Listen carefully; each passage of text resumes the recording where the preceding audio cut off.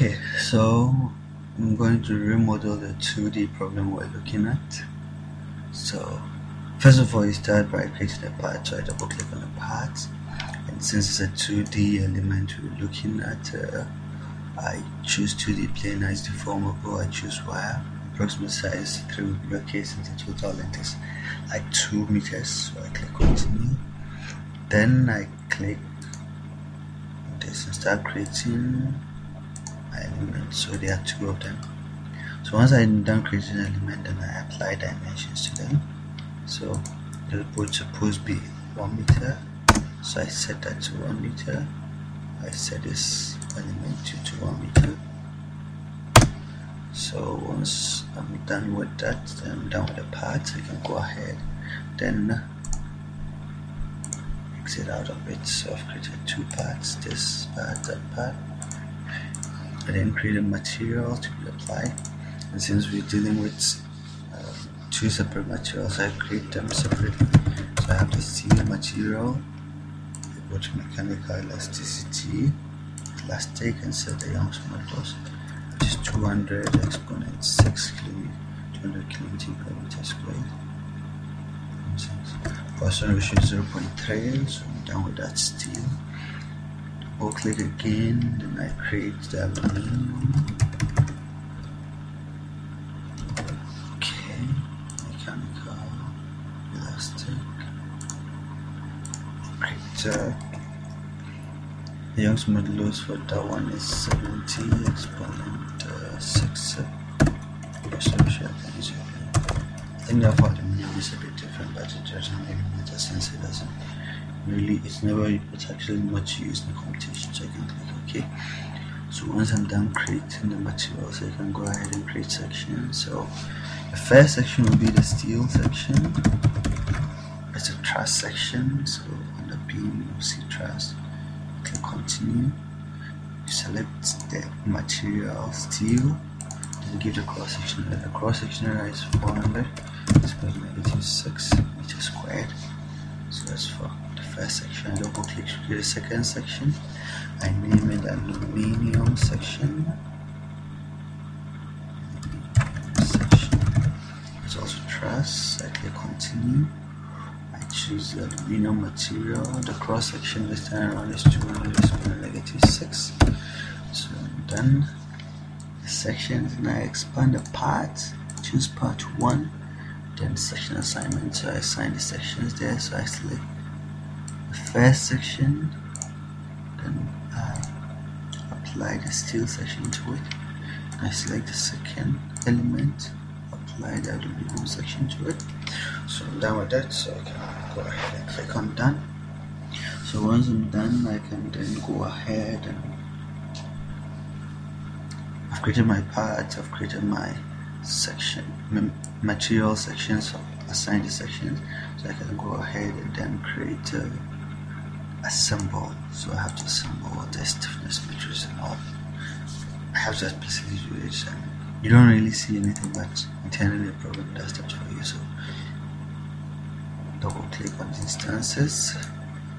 It selects the entire part so click OK.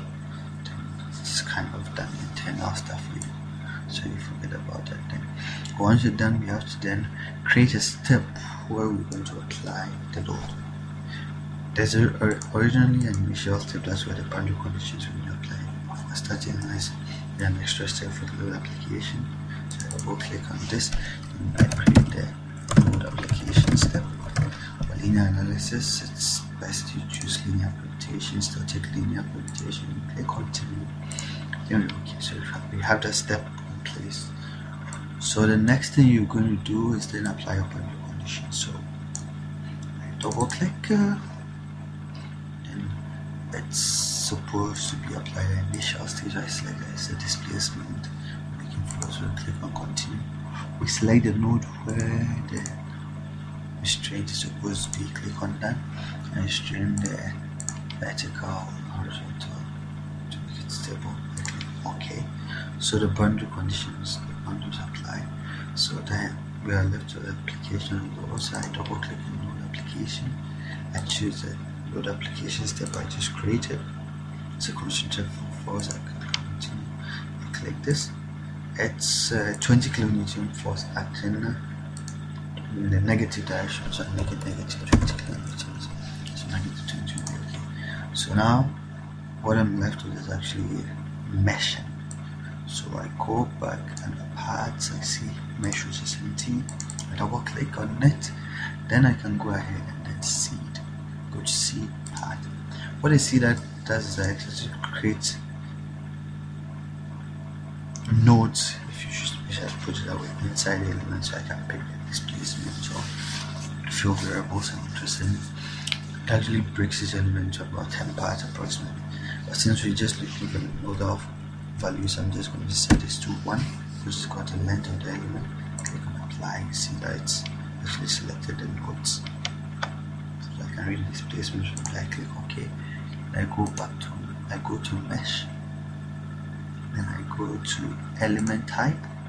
I select the entire element I click down I go down I choose truss okay. Since it's by by specialized trusses then I'm done. So once I'm done then I actually go back to mesh part. Okay to mesh. Yes. So now it's done the everything so I can go ahead and then create a job for analysis. So I double click on job create select a model I click continue the job is created. So with a job which is created I can right click on it go to data check to check whether the data everything's okay. So click ok you it's going to be a data check submitted you're going to see check running then hopefully everything is working you see check completed if there's an error you're going to see an abort message. But since it's completed we're okay. I can go ahead and then submit for analysis. So it's going to been submitted. It's going to run hopefully once you see complete completed uh, results so I can go ahead. Right click on this go to results and oh, wow that we get an representation so this is the on display chip when I click on this you see the load has actually formed it. So visually you know that at least you get a result. So if you come here we can actually get primary can get stresses so this is our stress distribution for the structure. Actually breaking down nicely there for us so but you can't really see it so go to viewport uh, viewport annotation options legend.